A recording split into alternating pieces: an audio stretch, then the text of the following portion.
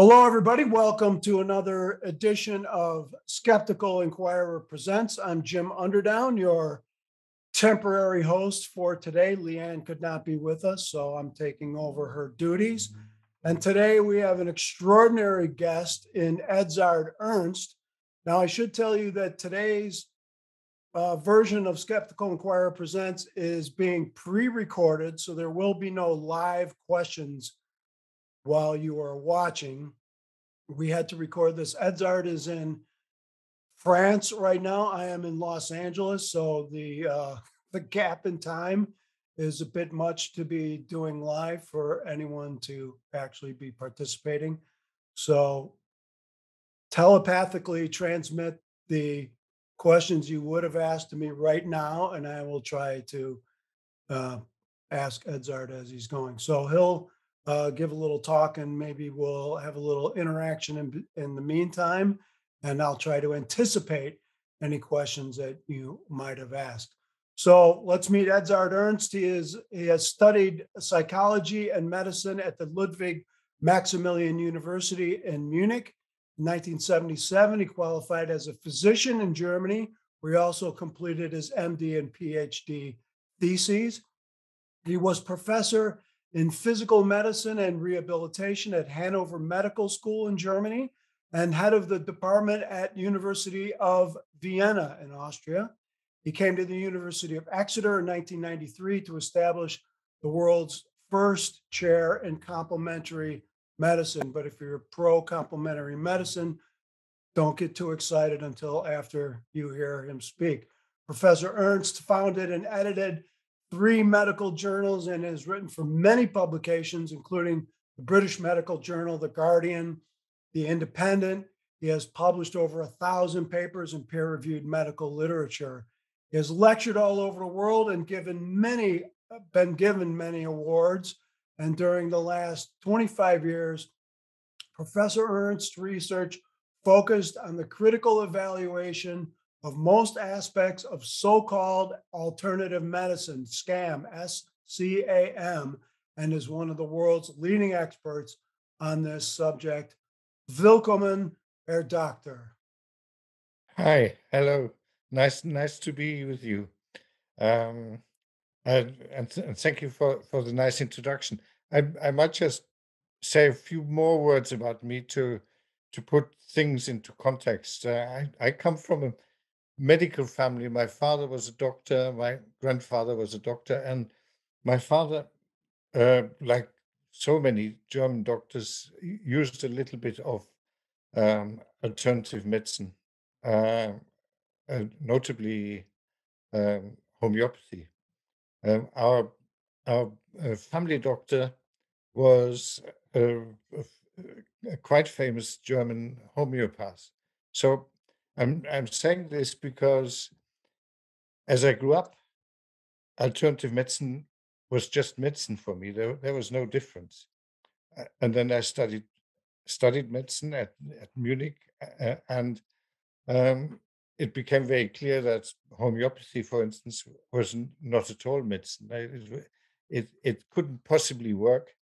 I remember uh, being taught by the pharmacology professor and then, lo and behold, uh, my very first job was in the in the only homeopathic hospital in in the whole of Germany at the time, and uh, it proved my pharmacology professor wrong. It did work. Uh, patients clearly did get better, uh, and and I'm saying this because it is important in the sense that it it, it raised a lot of questions in, in my in my head, uh, which many years later I endeavored to to find the answers to. Um, after the homeopathic homeopathic hospital, I, I pursued an entirely normal career, became a clinician. Then I, I had a career break in the sense that I, for the first time, went to, to England and worked in in research, and and that is important because it was an eye opener. For the first time, I learned to think li like like a scientist. Uh, uh, and I learned to think critically because in medicine, would you believe it or not, we we hardly ha have time to to think as medical students, as medics neither, and and we certainly don't have time to think critically. So for me, th- this was novel and very very important. Then, as you say, uh, I, I became professor in in, in Hanover, then uh, head of department in in Vienna, and the Viennese very quickly got terribly on my nerves, and and I I, I looked for um, possible other jobs. One day, I was reading the New Scientist, and and there was the advertisement of a new chair in Exeter. So I went to the World Atlas and looked up where Exeter is. I applied, and eventually I, I did get the, the, the job after some uh, toing and froing. Um, and and that was interesting because um, uh, I, I was delighted to be out of Vienna for, a lot, lot of reasons, which could be another podcast, really. But um, uh, I, at the same time, um, halved my salary, and uh, whereas in in Vienna I had about 120 staff, uh, in Exeter I had virtually nothing. So I had had to build up a research team of about 20 researchers, doctors, nurses, psychologists, uh, pharmacists, so very multidisciplinary. And I had to define what I would do with this chair because the expectation really in Exeter was that I, I might be teaching a lot. Uh, I might be teaching alternative therapists um, uh, ab- ab- about their trade. I had no intention whatsoever to do that.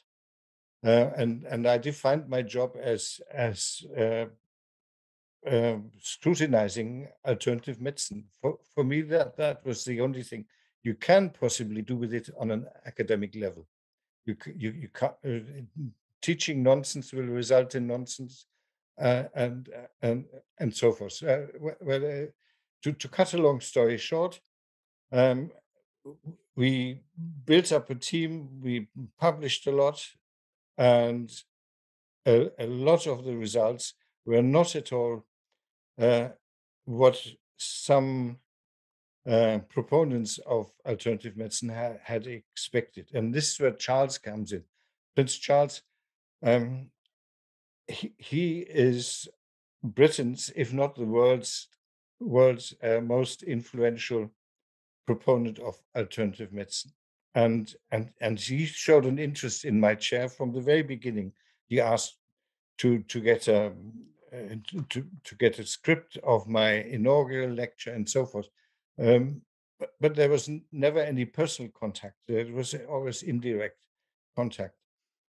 So as we published our results, uh, paper after paper after paper, not confirming uh, and, and, and not showing what Charles and other advocates of alternative medicine were hoping for, um, tensions uh, emerged. Um, Charles had created uh, the Foundation for Integrated Medicine, a charity, and they were pushing uh, alternative medicine into the National Health Service. My attitude was okay. Uh, you can you can you can uh, integrate um, alternative treatments, but let's first check out whether they are safe and whether they are effective, and if they are effective for what conditions, and and if and whether they are more effective than conventional conditions. So so it really was much more complicated than Charles ever wanted, uh, and and tensions broke out, out public tensions even. Uh, I I criticized some of the work of his foundation and so forth.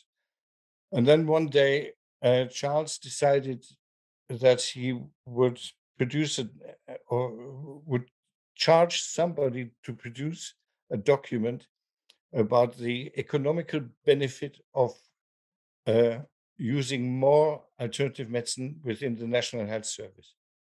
And they involved me into that initially. I tried to help. Then almost in, inevitably it became uh, to to a breakup and i said you, better erase my name from from this document because uh, what you're doing is not science. And and that was going to be released in parliament for politicians. So that's important because it wasn't peer reviewed uh, uh, and and i had problems. I, I, had a real tummy ache with, with that. They for instance, recommended that 400 million could be saved uh, if GPs would use more homeopathy for asthma. Uh, to which I responded, you would also kill about 150 asthma patients per year. Um, so, so it, it, it, became an ethical issue.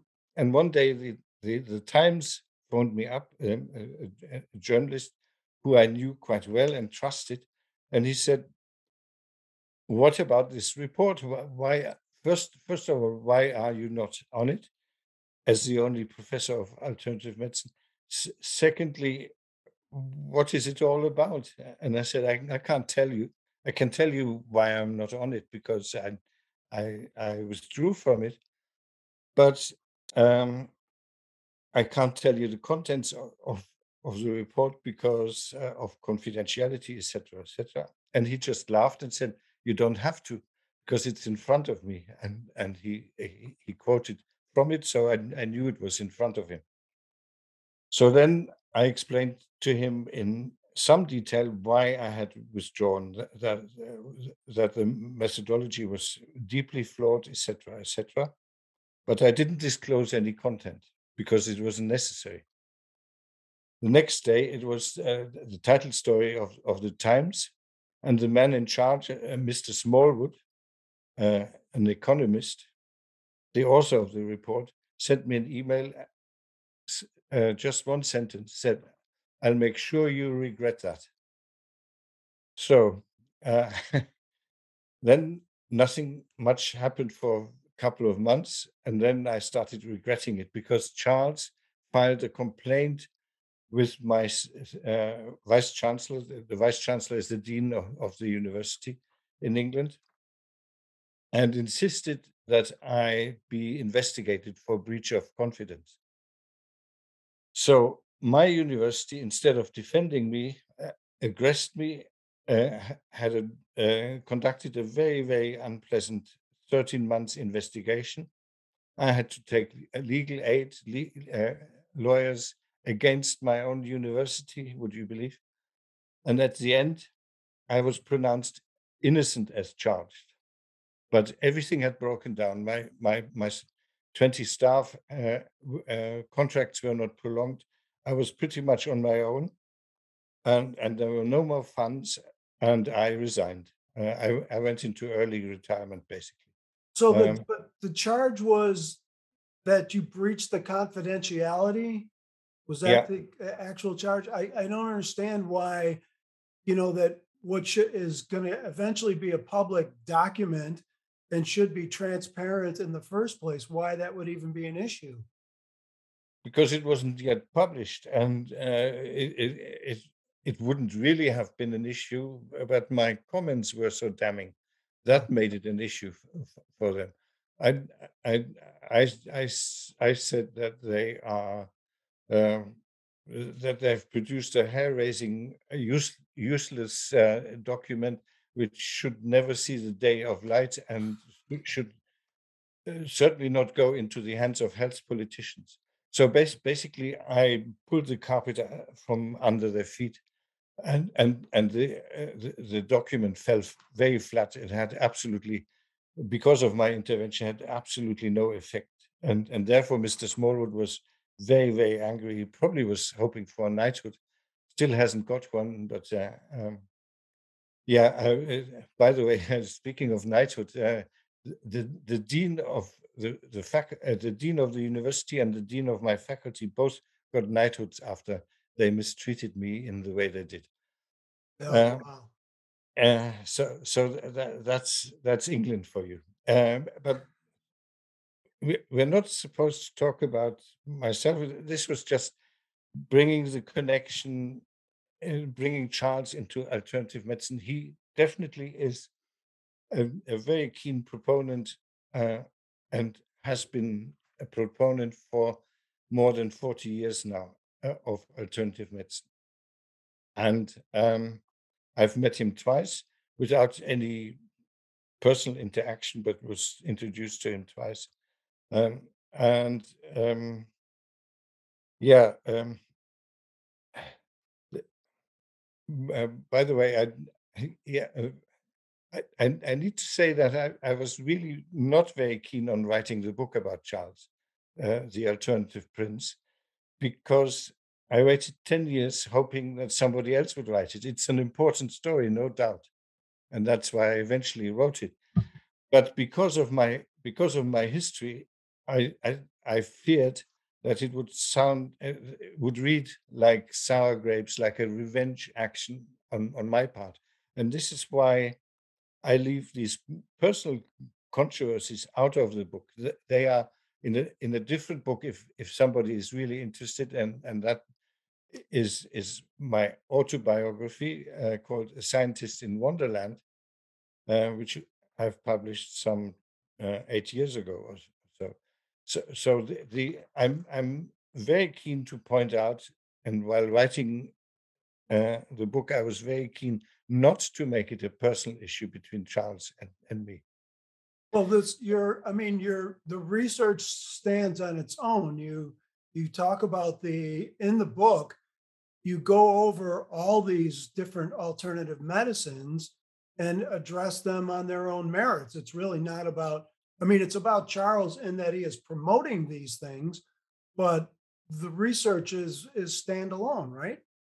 Yeah, that, that's that's kind of you to say so. That, that that's exactly how I I wanted to deal with the subject. Uh, basically, I go through his last forty years, uh, highlight uh, every alternative modality that he has been supported, uh, try to to explain his point of view, and then contrast that with the, the, the science um, of, of what, what, whatever modality we are talking about.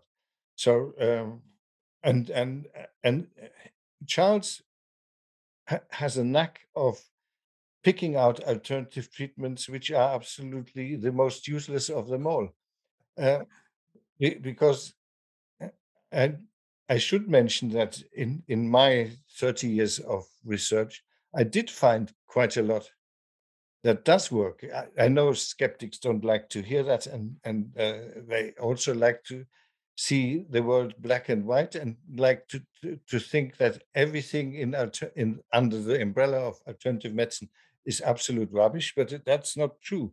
So Charles could have picked out things uh, that he could have reasonably supported with good uh, backing from evidence, but he didn't. Uh, and and the the the best example and the treatment that is closest to his heart, no doubt, is homeopathy.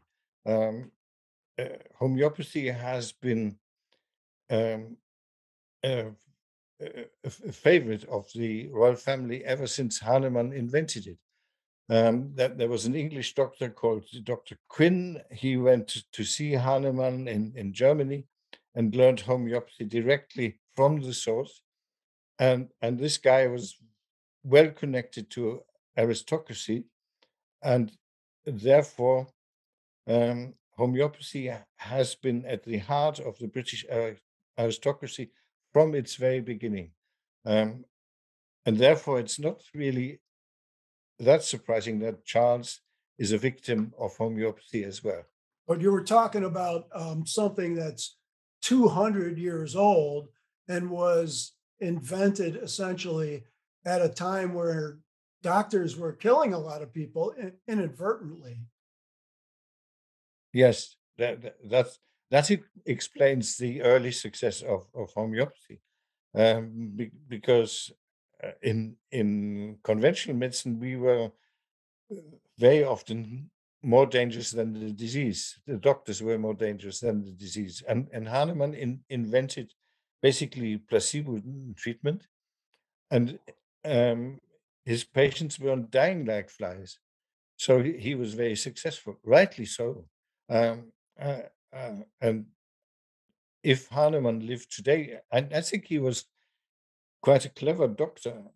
Uh, he would probably condemn homeopathy uh, uh, uh, more than anybody else. Today he would. Yes, Oh, today. that's interesting. But anyway, that to to come to come back to to, to Charles, um, I, f- I forgot to mention that Charles and I are born in in in uh, in the same year, so um, we have our birth year in common. We have we have other things in common as well. We the German blood, of course. Charles Charles is is is an anglicized German. Uh, uh, uh, we both had very s- strong uh, mothers uh, who had to delegate education. We both uh, had to go to boarding school. where We were both very unhappy at boarding school. Um, we both ha- had a decent education, I think.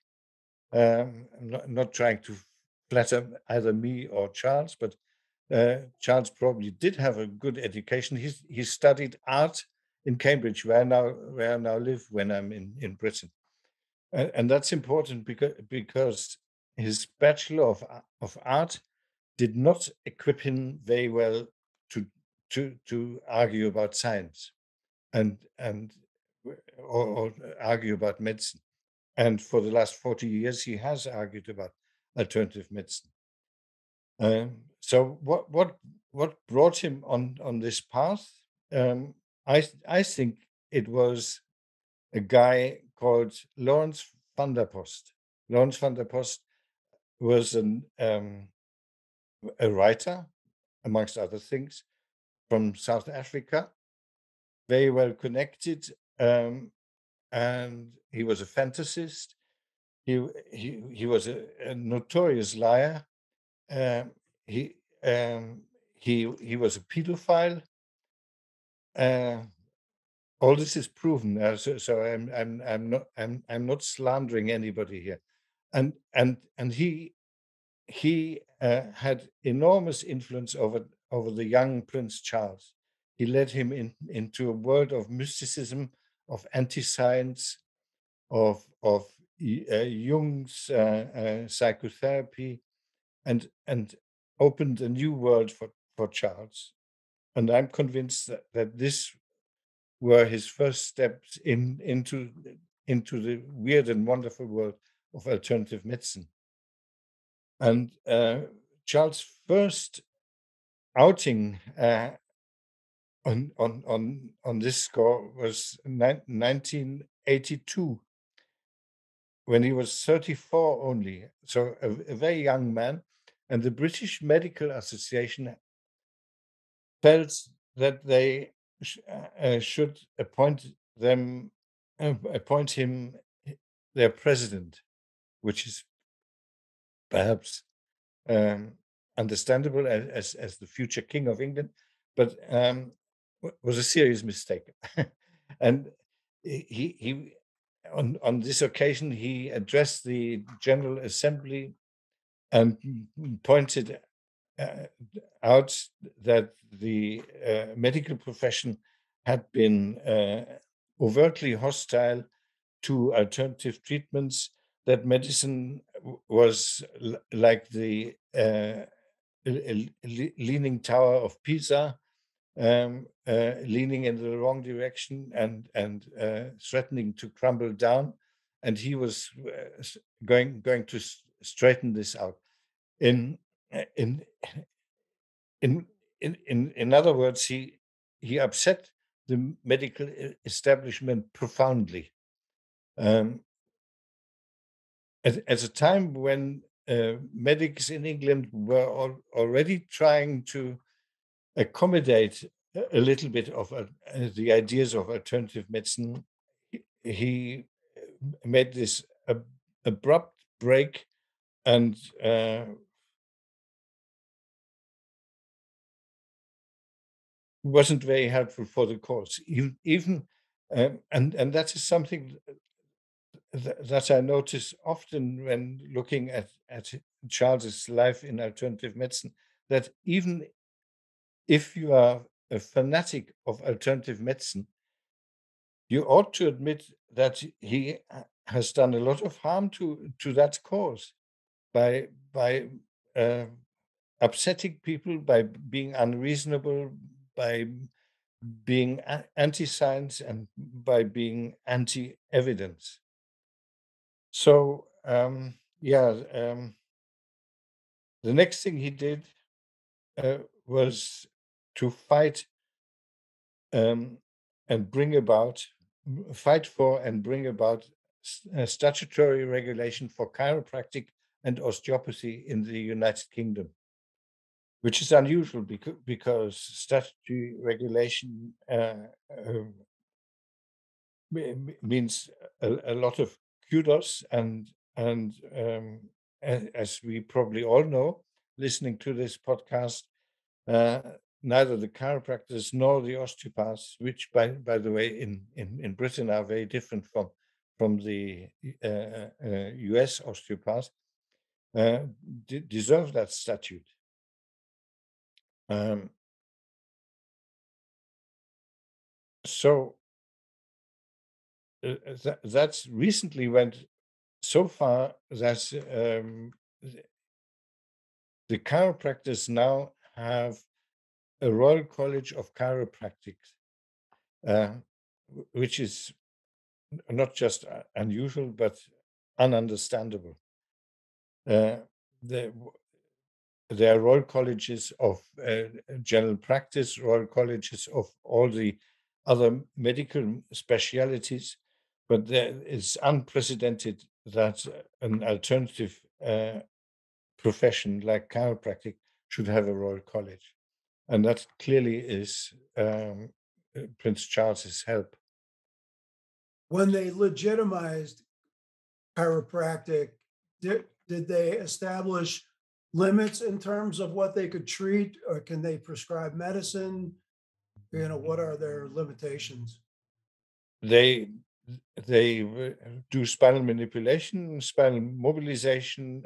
Um, they do everything that um, uh, physiotherapists do, but they're not allowed to prescribe medicine. They they they can uh, recommend and sell uh, supplements very much like like in America. Just to explain the the osteopaths in in in America, osteopaths are basically trained like doctors and they can specialize like like doctors in in the UK and and in in the whole of Europe this is not the case. They are um, trained as uh, alternative practitioners and and haven't been uh, through a proper medical training. I think that's quite important to point out. Back to Prince Charles. In in in 1993 um, the year when my chair was uh, established, he he created the Foundation for Integrated Health. Uh, it uh, it's changed its name several times, but uh, I, I think in the end it, it was called uh, Foundation for Integrated Health, and and this is the this is the organization I had lots to do with they came to my meetings. We we had we we had research meetings in in Exeter, annual research meetings for 15 years or so, and so they contributed to that also financially. Um, uh, they invited me to to their meetings, etc., etc., and uh, and and we often uh, disagreed, mostly politely disagreed, but uh, th- there was plenty of disagreement. As as I said earlier, they wanted to integrate, and I wanted to test. Um, and even though this is just one word difference, it, it, it it's a world of difference. Um, so, so the the story of the Foundation for Integrated Health is is very interesting because in in 2010 it was closed very abruptly uh, after police investigation found that there was uh, fraud uh, and money laundering going on in, in that organization. and that could be just a, quirky little detail, but it, it probably is more because I've already spoken about Van der Post, um, and what I see uh, repeatedly in Charles's um, ambitions regarding alternative medicine is that he is such a poor judge of character. He, he surrounds himself with the wrong people. He surrounds himself with sycophants, uh, and uh, uh, uh, and that backfires quite regularly. And I, I, think that might have also backfired with the money money laundering question. Uh, the, the man who was responsible actually went to jail for it. Uh, so so it, it was a serious affair. Um, next, um, um th there was a meeting in in 2004 where uh, I was invited, and uh, uh, and and it was at one of the Royal Colleges, I think Royal College of Gynecology, and it it was about cancer. So uh, some of the best oncologists of the UK were in the audience, and, and Charles was going to speak. And you wouldn't believe what he does. He st stands at the podium and promotes Gerson therapy. Gerson therapy is a st starvation diet which basically hastens hastens the death of cancer patients. Not on, not only it hastens their death and reduces their quality of life, but also because the uh, treatment is very, very hard to follow.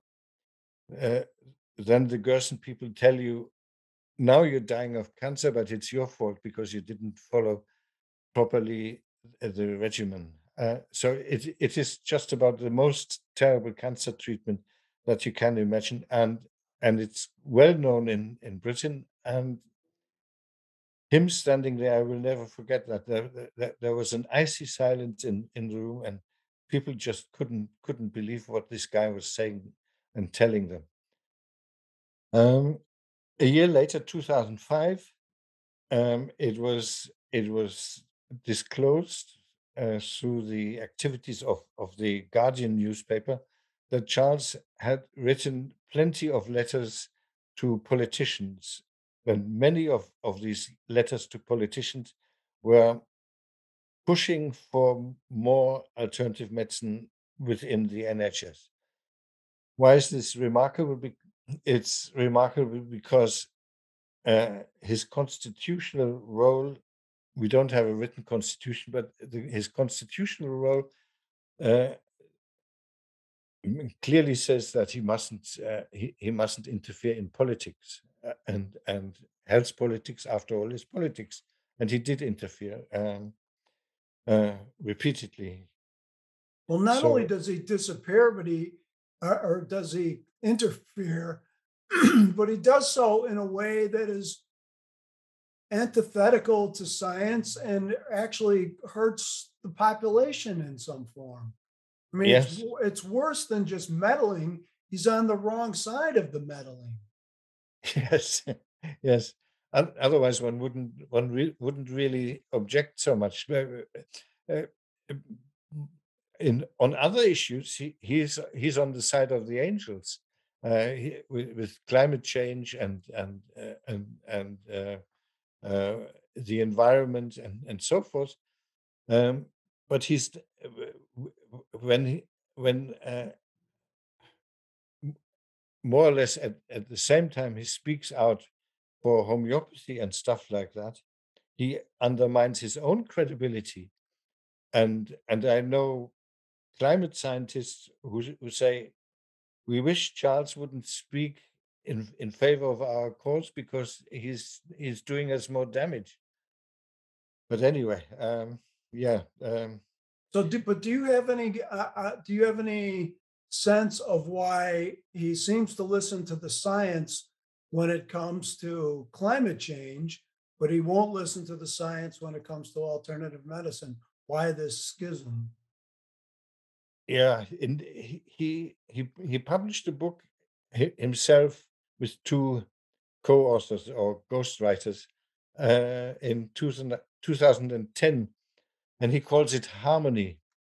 And I think that that book provides an answer to the question. He he he searches for harmony and and balance, uh, and and and and and nature uh, has to be left natural, and we shouldn't interfere to the extent we do interfere. And and that is when I say he's on the side of the angels, uh, maybe not exactly with the right motives, but it it it, it turns out he's he's on on the side of the angels, but with the with the very similar motives, he promotes what he thinks is natural treatment and and ancient wisdom and and and uh, uh, homeopathy and herbal medicine and and, and, and anything. Really, the the, the treatments and diagnostic techniques that, that he has promoted in in the past 40, 40 years. Um, big, I believe. I'm I'm often just citing homeopathy, but there's Ayurvedic medicine, there's uh, traditional Chinese medicine, there's pulse diagnosis, which is a Chinese type of diagnosis. There's iridology, which is uh, making diagnosis by looking at the irises of of uh, patients, and it is so far way out that, as I say, it, it does beg a belief. Um, just maybe to finish off, I don't know how much time we have. In in 2008, he took the biscuit by coming out uh, with uh, his own herbal tinctures. He he has a firm that is called Duchy Originals. Um, he he owns the, the Duchy of Cornwall, and and they used to produce biscuits and and uh, and all very biological and very natural um, products and uh, food stuff basically. And on two, in 2008, he comes out with three herbal tinctures, and one is called Duchy Original Detox Tincture, and it contains dandelion and and um, artichoke, dandelion and artichoke. And and you you, you can imagine um, my my telephone was was ringing hot with press asking me what I think about it, and I, I didn't think very highly about it. Um, and I called it dodgy originals. It sounds like something you would um, put in your salad, uh, dandelion and artichoke.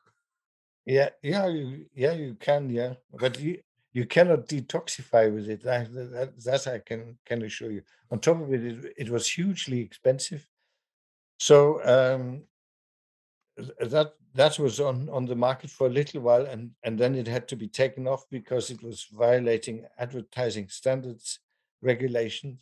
Uh, so an- another quite visible defeat of Charles's uh, um, um, foray in, into alternative medicine and, and, and quite quite quite funny really that the, the, the press took up my dodgy originals detox tincture uh, in in a big way.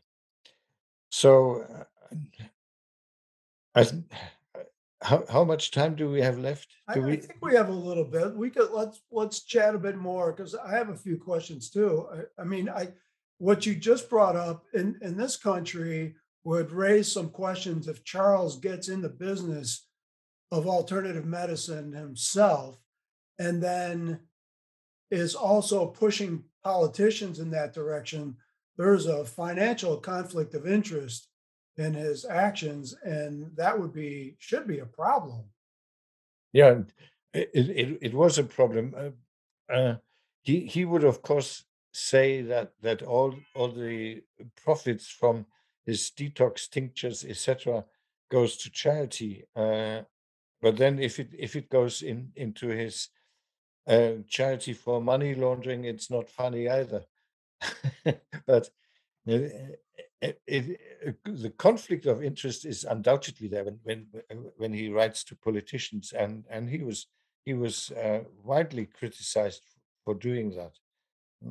Uh, he, in in more recent times, he has been more a little bit more quiet, a little bit more quiet, and and I, I suspect when he becomes king, he will become very quiet about alternative medicine, uh, which doesn't mean that he loses his influence. He, he will not make public pronouncements, but he, he will pull strings uh, that we don't know about, that are not visible to, to, to, to us.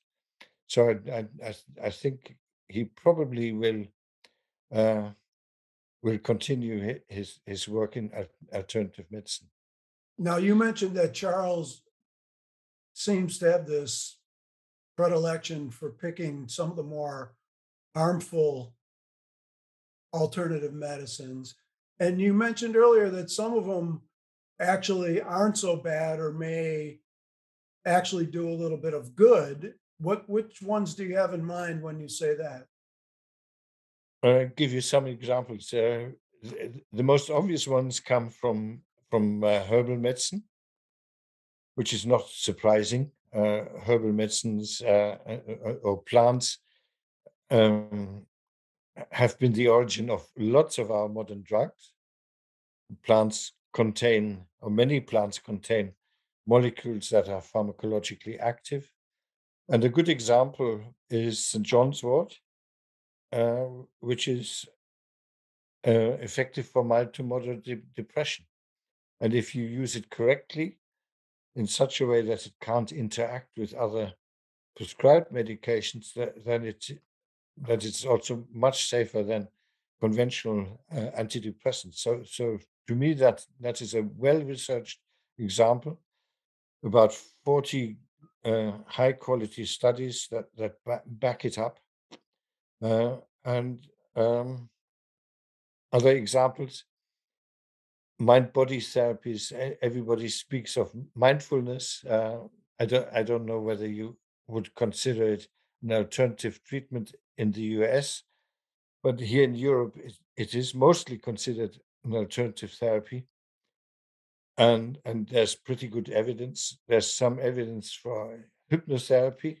There's some ev evidence for massage therapy, so much so that in Germany um, it is considered mainstream treatment uh, used by physiotherapists and massage therapists.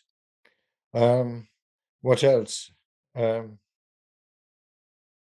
yeah, and I, I recently published a book um, in in um, for for Springer, uh, where I analyzed 150 different modalities, and um, maybe around 10 of these 150 uh, seem to be doing more good than harm. So that's why I like to uh, annoy skeptics by saying it's not all bad. okay, I have one more question, and I, I can ask you this because you've also studied psychology in this country, we also have a problem with celebrities saying anti scientific things. Gwyneth Paltrow has a whole line of wacky products. Um, Robert Kennedy Jr. is an anti vaxxer. The list, unfortunately, is quite large. Do you see any road to trying to curb some of these people? And this would apply to Prince Charles as well. Is there is there any way to convince them to either keep their mouths shut or or consider studying the science or accepting the science? How do we get them to change?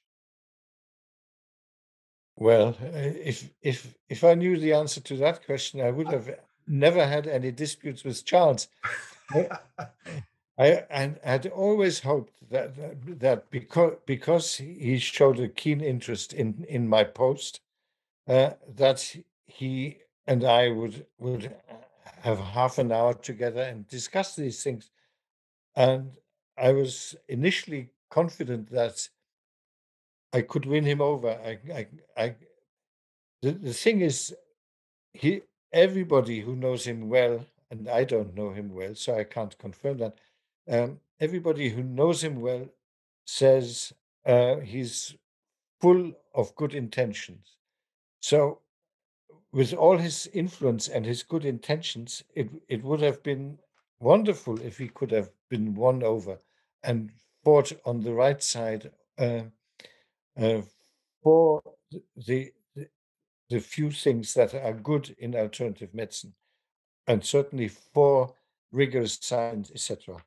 Uh, but it, it never it never came um, about this this meeting, and from what I know today, if if you even slightly contradict Charles and and say, Your Royal Highness, shouldn't one perhaps see this from a different angle? Uh, so you're you're off his list. Yeah, you, you uh, you you're not you, you cease to be you cease to be an excuse me an advisor of Charles. So I don't think it happens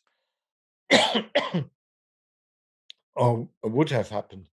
With Gwyneth Paltrow, uh, it certainly wouldn't happen because she is earning millions with that stuff, and and and uh, I'm not even sure that she's dumb enough to believe what she's in in in what she's selling. Uh, I cannot Im- imagine that anybody's dumb enough for that. Uh, so I, I credit her the intelligence of um, being very effective in exploiting people who are dumber than they are. But that's not an answer to your question. That's just an an excuse for, for not answering it. well, you do say, and I, and I credit you for your attitude. You say in the book that um, it makes you sad because Charles's positions are you consider them a missed opportunity. Yes, that is that is the concluding paragraph, and I really mean that because when I started in '93 in in at Exeter, I was full of confidence. I, I not not only I was full of confidence that I would find lots of uh, effective stuff in in eh, under the umbrella of alternative medicine, and I did find a little bit, not lots, but I was certainly full of confidence that I would have the royal support, uh, and and that would have made a lot of difference in terms of funding, because one thing people say ab about our work at Exeter they, they say this guy never did any clinical trials, which is not true. We did about 40 clinical trials, which is uh, pretty good going. But clinical trials are so, um, they are not just Im- important, but they're so expensive. And we just ran out of funding. When uh, the, the people who finance clinical trials give money to those guys who are most likely to produce a positive result and that wasn't us. Yeah. The book is called Charles the Alternative Prince, an unauthorized biography. It's by Edzard Ernst. Professor Ernst, thank you very much for being with us. Thank you for having me. It was great fun.